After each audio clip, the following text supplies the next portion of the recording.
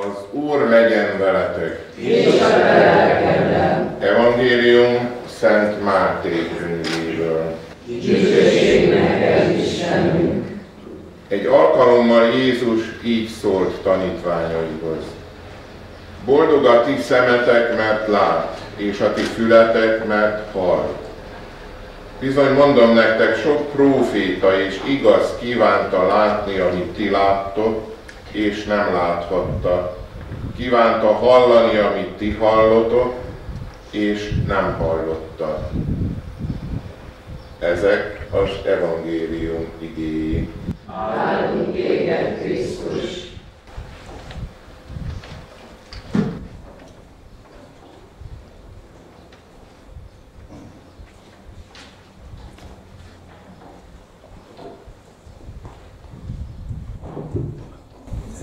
Krisztusban, kedves testvérek!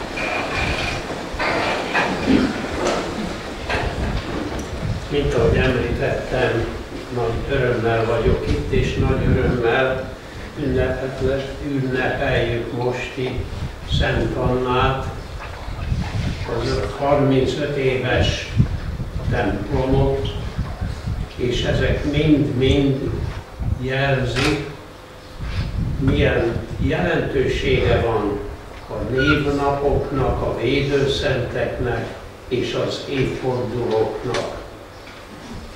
Negyedik alkalommal van most a nagyszülők és időseknek a világnapja, hogy ezt Ferenc pápa bevezette. De ez nem új, hiszen ha nem is mondtuk eddig azt, hogy a világnak, de itt van a Szent Anna, Keszőben is ott van, más templomokban is ott van a Szent Anna, Kapasdon, a Szent Anna kápolnában is tegnap ünnepeltük a Szent Annát, és amikor a Szent Annát ünnepeljük, akkor mindig különböző formákban ott van a Szent Anna kezében egy könyv, mint ahogy itt is látjuk, hogy itt van kezében a könyv, a bal kezében, jobb kezében pedig ott van egy kislány, a lánya, a boldogságos Szűz Mária. Ezért számunkra a Szent Anna ünnepség az mindig nagyon pozitív érzülettel, szeretettel, Isten iránti bizalommal tölt el minket. És így akarjuk valóban ezen a mai napon is megünnepelni Szent Annát, a boldogságos Szűz Máriát, és tulajdonképpen, amikor azt halljuk a könyörgésben, hogy tőlük szülessék megtestesült fiam édesanyja. Tőlük szülessék és a megtestesült fiú, Jézus Krisztus. Ebben akkor azt is látjuk, hogy ebben a nagy ünneplésben ott van egy központ. És az a központ, az nem csak valaminek a középpontja, hanem az Jézus Krisztus, az Isten fia, az Atya küldötte, aki eljött közénk, és amikor hallottuk az evangélium, és az evangéliumban hallottunk, hogy sok próféta kívánta látni azt, amit ti láttok, mondta Jézus az embereknek, az apostoloknak, nem láthatta még, de ti látjátok, ti most tudjátok. Hát valahogy mi is most, amikor azt mondjuk, hogy Jézus Krisztus a központ, akkor azt is tudjuk, hogy az értékrendünk akárhogyan változik a világban, a társadalomban, de ennek az értékrendnek van objektív valósága. Valódi valósága, ami nem csak abban áll, hogy én így gondolom, te úgy gondolod, mi azt tudjuk, ez a véleményünk, az a véleményünk, mert ha ezt mondjuk, akkor tulajdonképpen feszültségbe kerülünk. Feszültségbe kerülünk egymással, feszültségbe kerülünk Jézus Krisztussal, mert mindenki azt mondja Jézus Krisztusról, ami az ő véleménye. Amikor néha fiatalok el szokták mondani, hogy beszéljünk most akkor a Bibliáról, vallásról, és akkor úgy kezdél az én véleményem szerint mindig ott van. Jézusról akarok beszélni, vagy a véleményünkről akarunk beszélni. Jézusról akarunk beszélni, akkor úgy tekintünk Jézusra, mint ahogyan hallottuk, hogy megtestesült fiad, édesanyja és megtestesült fiad nagyanyja. Ezért, kedves testvérek, jöhet különböző technikák, jöhetnek különböző felfedezések.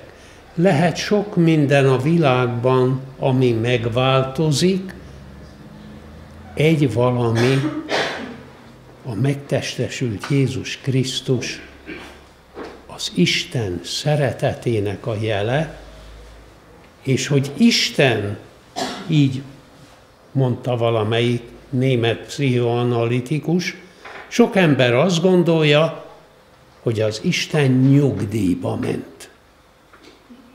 Isten nem megy sohasem nyugdíjba. Isten velünk marad, és amikor most ünnepeljük a Szent Annát, ünnepeljük a boldogságot, Szűz akkor ez is jelzi számunkra azt, hogy az Isten működik, dolgozik. Velünk az emberrel van, és ha velünk az emberrel van, akkor tulajdonképpen mi az élő Istenről beszélünk. Az élő Isten szeretetében vagyunk, nem egy ideológiában, nem egy nyugdíjba vonult Istenről, hanem a működő Istenről. És ez a nagy dolog, amikor most azt mondjuk, hogy hát az idősek. Most is van egy pár fiatalabb, és a gyerekeknek külön örülök nektek, akik most ugye itt vagytok, még a legkisebbnek is, mert amikor arról beszélünk, hogy most a nagyszülők, a szülők, de főképpen nagyszülők, nagymama, nagypapa, hát tulajdonképpen egy társadalomban akkor marad meg az élet, hogyha a nagyszülők ezt az életet tovább tudják adni. És ezért szokták azt mondani, ugye, hogy idősebb korban már, hát igen, és amikor valaki már ott van közel a halálhoz, akkor már nem úgy van, mint amikor megszületik a gyerek. Szokták mondani, megszületett a gyerek, ökörbe fogja magát, az egész világot fogom majd magamévá tenni, és lesz az enyém. És idősebb korban már szétnyílik a tenyere. De a szíve tele lesz. És ez a nagy dolog, amikor a nagyszülőkről beszélünk, hogy akkor kell, hogy a nagyszülőknek a szíve tele legyen szeretettel, hogy ezt a szeretetet, amit ők megtapasztaltak életükben, ezt tovább tudják adni az unokáknak. És milyen fájdalmas volt, és még most is, amikor azt kell mondani, hogy, hogy olyan kicsik voltak a lakások, alig 52 négyzetméter, vagy annál kisebb, hogy nehogy a gyerek és a szülő együtt legyen, nehogy több gyerek legyen, hogy kevés gyerek legyen. Mindenki azt gondolja, hogy hát ez akkor ugye most mégis mindenki önálló lakást kapott. Igen, de a generációknak egymásra kell épülni, és az öreg fa gyökere a nagyszülő. És az öreg fának a gyökerét eltüntetjük, megmérgezzük, akkor egy darabig még zöld marad a fa. Lehet, hogy még hoz is valami satnya gyümölcsöt, de csak satnyát, és nem igazit. Ezért, amikor a Ferenc pápa meghirdette a negyedik világnapot, akkor a 71. Zsoltárban azt írta, hogy Istenem, ne hagyj el öregségemben. Ő is már 87 éves. Ne hagyj el öregségemben. Ne hagyj el, ha fogy az erőm.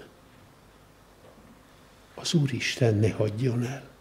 De a család se hagyjon el, hanem meglegyen a generációban való együttépülés, és akkor mondhatjuk azt, hogy beteljesedik egy kultúra, tovább épül egy kultúra, és akkor nem kell azon keseregni, amin a Ferenc pápa is az egyik alkalommal, amikor beszél éppen az öregekről, akkor azt mondja, hogy a leselejtezés kultúrája.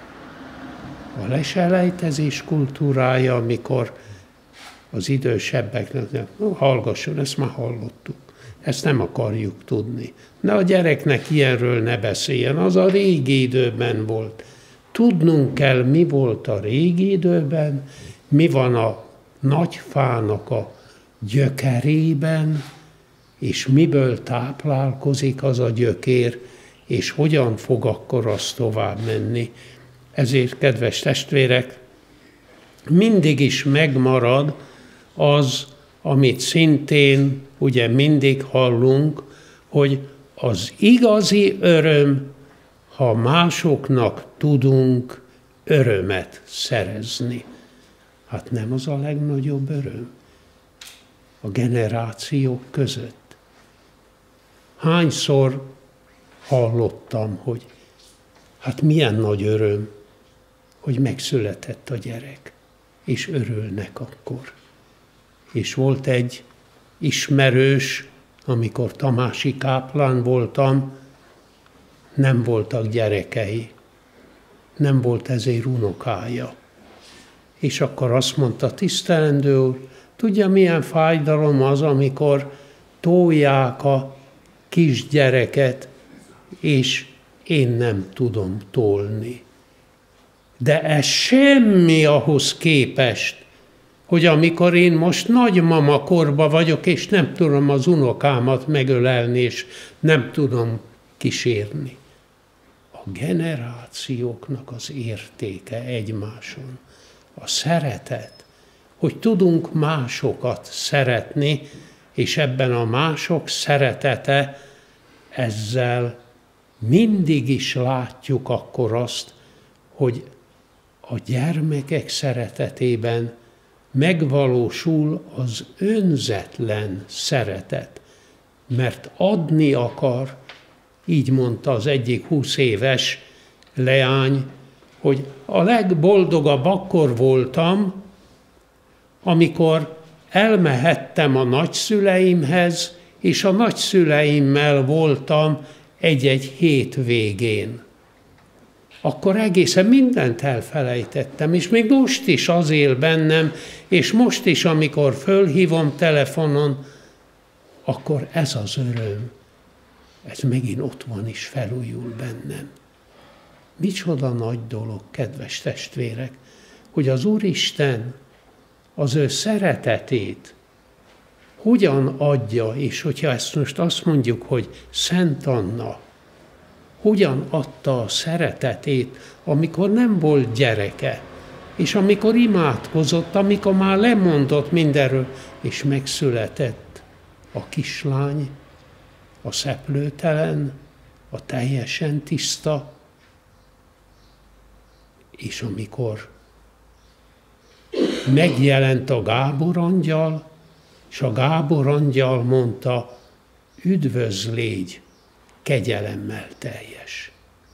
A kegyelemmel teljes, az azt jelenti, hogy Mária neve a kegyelemmel teljes. És amikor azt látjuk, hogy most a kegyelemmel teljes, és az édesanya, és a kegyelemmel teljes nekünk adja, nem csak nekem, nekünk adja az ő fiát, ahogyan hallottuk, megtestesült fiad, édesanyja, megtestesült. Jézus Krisztussal lehetünk és élhetünk, és ez számunkra, kedves testvérek, mindig is jelenti azt, hogy helyesen élünk, megfelelő értékrendben élünk. És most legyen szabad egy-két szót mondanom azért, ugye 35 éves a templom, ahogyan hallottuk, ugye a Feri atya elmondta, de hát ugye 35 éves. Az én püspökségem, de annak idején, amikor fölszentelték, akkor a Cserháti püspök úr szentelte még fel. Emlékszem, hogy amikor az első időben, akkor szóba került a tabernákulum, mintha az egy kicsit később valamivel készült volna el, és oda lett helyezve. És amikor megjöttem, akkor a sekrestjés, ugye, ki régi ismerős, mondta, hogy a keresztút, amikor az lett, amikor a második világháborús emlékmű. A 35 év az azt jelenti, kedves testvérek, itt kökényben, hogy a harangtorony, a harangszó nem volt elég. Jézus Krisztus kellett, és Jézus Krisztus szeretete kellett, hogy itt legyen ebben a templomban, és Jézus Krisztus értékrendje, szeretete, az legyen itt, és az jelezze nekünk a felelősséget. Mert a mai időben az az egyik legnehezebb dolog, ha valaki azt mondja, hogy felelősség. Mi az, hogy felelősség? Hát amit én akarok, az van. Ha felelősségről beszélünk, akkor már a másik embert is látni kell. Hát én a másik ember, én akarok kiteljesedni, miért akarom a másik embert kiteljesíteni? Közösségben vagyunk. De nem csupán földi közösségben. Mert ha csak földi közösségben lennénk, akkor kétségbe kellene esni, hogy milyen a klíma, milyen szennyeződés van, mennyi baj van, a teremtett világgal mi van, és amikor beszélünk a teremtett világról, akkor merjük mondani, hogy van teremtő Isten. A teremtő Isten mindenről azt mondta minden nap, amikor ugye a teremtésben, és látta Isten, hogy jó. És ha látta Isten, hogy jó, akkor az ember elronthat mindent, ha Isten nélkül akarja megmenteni az embert, akarja megmenteni a világot, és a templom erre is figyelmeztet minket, hogy ne hagyjuk az Istent. Hányszor hallottuk azt, hogy ugye az Isten és az iskola és a templom. Az iskola és a templom, a tudás és Isten, és ha ezt szembeállítjuk egymással, akkor jön a törés, és ha szembeállítjuk egymással, akkor beszélhetünk mi klíma problémákról, akkor valahol nagy baj van a világban, a társadalmakban, és ezért, amikor azt mondjuk, hogy 35 éves a templom, akkor maradjunk is hűségesek ahhoz az érzülethez, ahhoz a felfogáshoz, amit 35 évvel ezelőtt, de a templom előtt kezd el mindig épülni, lehetne mondani 40 évvel ezelőtt, vagy még előtte, amikor az volt, hogy na most el kell menni máshova misére, mert itt nincsen mise, itt csak harangtorony van, és ugyan megszólal a harang, hív a harang, de nem helyettesít a harang, hanem mindig is itt vagyunk akkor Jézus Krisztus áldozatában. Fiatalok felé pedig ugye meglepődtem, valaki küldött egyet, hogy a mai fiataloknak mi minden kéne, és tulajdonképpen a harmadik pontban a 15 közül úgy megálltam. Úgy elkezdtem gondolkozni. Képes vagyok-e leválni a szüleimről? A mai társadalomban képes vagyok-e leválni? Nem az Istenről, hanem azokról a szülőkről, akik elfelejtették az Istent. És a gyerek tud-e újra kezdeni? Tud-e megint Jézushoz fordulni?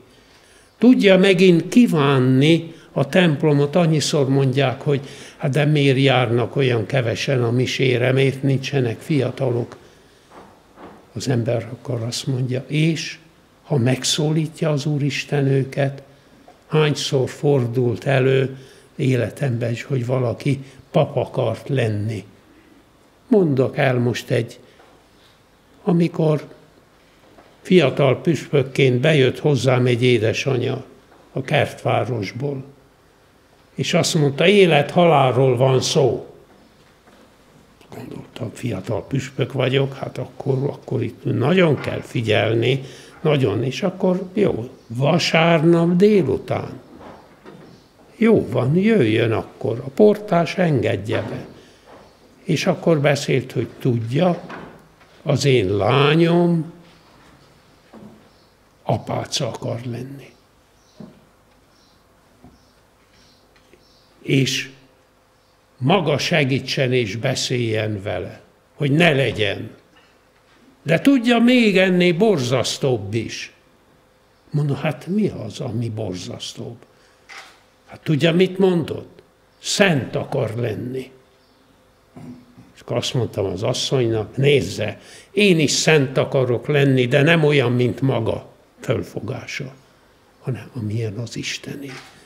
Hát mi is, amikor a fiatalokat segítjük, akkor engedjük őket, hogy az Isten felé menjenek, és ha valaki mondja akkor, hogy de hát ugye most vallásos lett, akkor ne álljunk oda és ne vitázzunk, hanem mondjuk akkor, hogy ha az Isten hívta, akkor jó felé megy.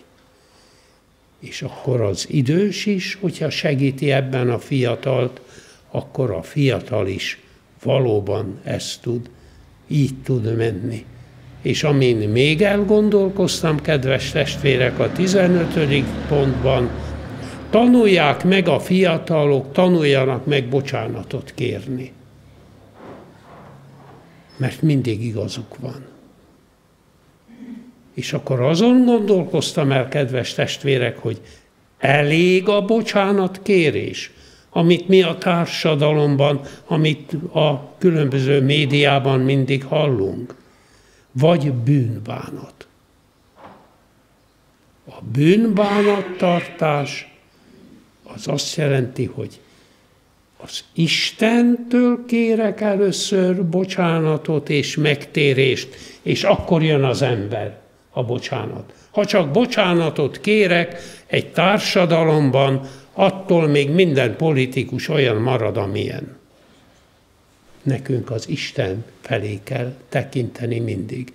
Hát itt van a mai ünnep, Szent Anna, segítsen, hálát adott, hogy lett leánya, a leány az pedig a Szentlélek erejéből Jézus Krisztus, akinek a szeretetéből épült a templom, és ez a közös szeretet kapcsoljon össze minket mindig, generációkat egymással, hogy a szeretetben összekapcsolva megmaradjanak mindig a nagy keresztény fának a gyökerei is, a levelei is, a gyümölcsei is. Amen.